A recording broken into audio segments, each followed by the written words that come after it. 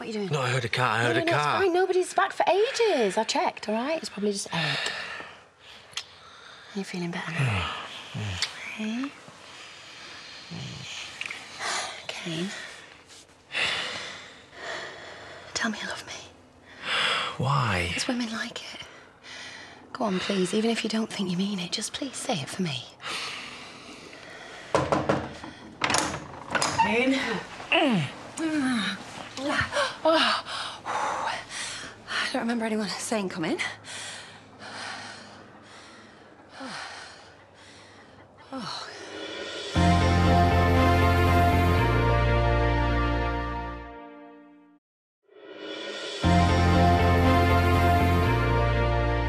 There's something you need to know.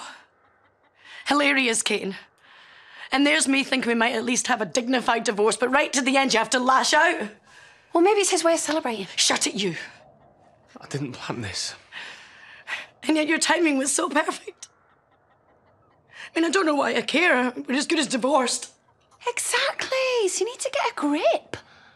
I mean, do you know what this is like? This is like eBay eBaying a pair of shoes and then getting gutted when you see someone else wearing them. Have you really got nothing else to say?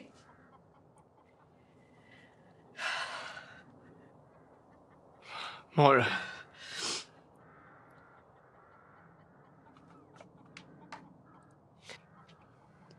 I don't know which one of you I pity the most.